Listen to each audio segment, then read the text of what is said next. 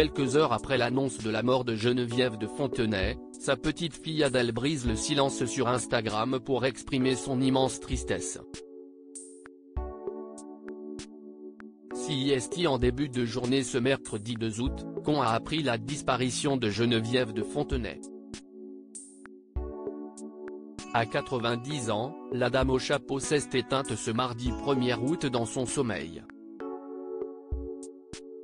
Selon les informations transmises par son fils Xavier à TF1, elle a été victime d'une crise cardiaque alors qu'elle dormait.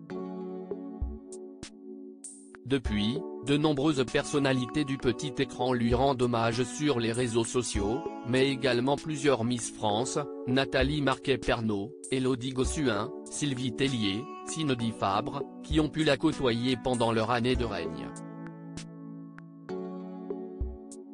Celle qui a géré le comité Miss France entre 1981 et 2009 laisse derrière elle son fils Xavier, ainsi que ses deux petites filles, Adèle et Agathe de Fontenay. Adèle pleure la disparition de sa mamie, Geneviève de Fontenay, j'ai l'impression d'avoir perdu une partie de moi moins de 24 heures après la disparition de Geneviève de Fontenay à son domicile de Saint-Cloud, sa petite fille Adèle a pris la parole sur les réseaux sociaux pour exprimer sa peine, mais aussi rendre hommage à sa grand-mère. Je n'aille pas la force de répondre à tous les messages tout de suite alors j'aimerais le faire ici dans un premier temps. Merci pour vos mots. Ça me touche énormément, écrit-elle en introduction.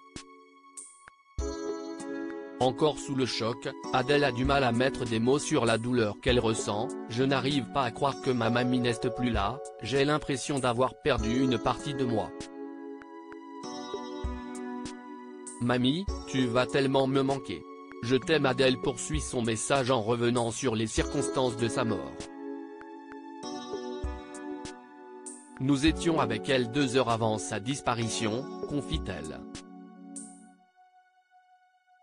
Et d'ajouter que Geneviève de Fontenay s'est éteinte dans son sommeil comme elle le souhaitait. Même si la dame au chapeau avait 90 ans, pour Adèle, si est un choc de perdre l'une des personnes qui compte le plus à ses yeux? Si est un immense vide qui s'installe désormais? Mamie, tu vas tellement me manquer. Je t'aime, termine-t-elle. De son côté, sa sœur Agathe a besoin d'encore un peu de temps avant de prendre la parole. Elle a toutefois publié sur Instagram, « Merci à tous pour votre soutien et vos nombreux messages qui me touchent énormément. Je n'aille pas encore la force de répondre mais je prendrai le temps de le faire plus tard.